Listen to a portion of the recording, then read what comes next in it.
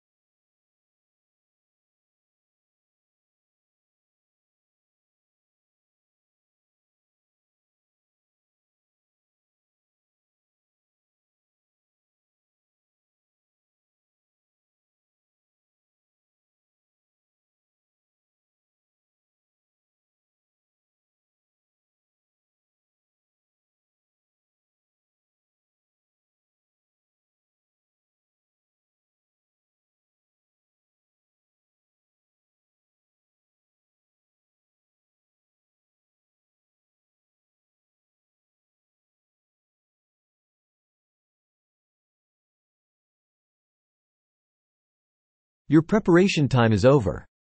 You can now start your role play. Don't worry if I stop you when the time is up. Good morning. My name is Narso Andrew. I am one of the registered nurses working in this community health center. May I know your name for the record, please? Good morning, nurse. My name is Patience Patricia. Hello, Patricia. May I know what brings you here today? Well, I am going on a trip around Southeast Asia soon. And I know that I have to take malaria medication. Yes, you are absolutely right. Yes. But nurse, I've had depression in the past. And I have read that there is some malaria medication that I shouldn't take. I understand your purpose for visiting us.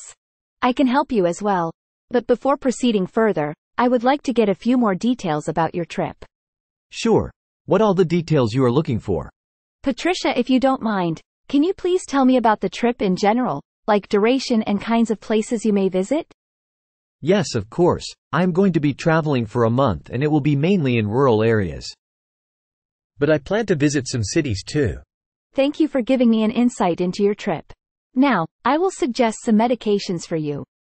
Alright, nurse. I would recommend doxycycline for malaria prophylaxis. For your information, the medicine has no contraindications with your history of depression. Good to hear that, nurse. Alright. Now, I will provide the details of the dosage. Patricia, you have to take 100 milligrams of doxycycline daily with food two days before the trip. During the trip and four weeks after return. Well, nurse. I don't like to take any medication for so long. Instead, I can just try to avoid getting bitten by the mosquitoes. Your words are quite sensible. However, it is equally important to have both medication and prevention measures. Patricia, I would like to highlight the point that during the trip you may be visiting the high-risk areas, and also the length of your visit is also to be considered.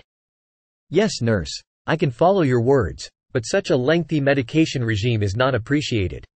Your thoughts are really understandable. Nevertheless, the reason for a long dose of doxycycline is really necessary. If you are not taking proper medication that could allow time for the multiplication of parasites. And finally, you may fall sick. Oh, is it? Hence, it is a must to take the full dosage of the medication as I suggested. Well, Patricia, I would like to know the reason for your reluctance to take medication over a long period of time. Actually, nurse, I don't want to take medications for a long time, because I am worried about the side effects. I really appreciate your concerns about the side effects. Patricia, I am glad to explain the details of possible side effects. May I?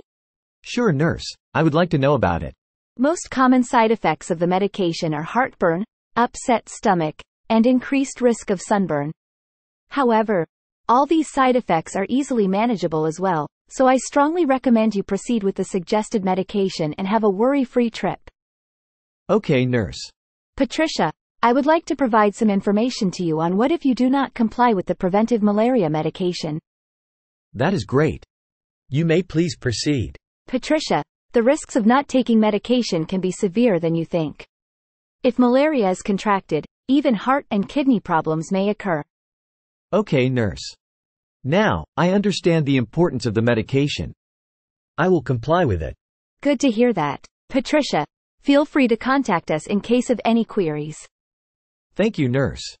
That is the end of your speaking role play. All the best. Thank you. Thank you for watching. Please like this video to encourage us. Kindly comment your suggestions and help us do better.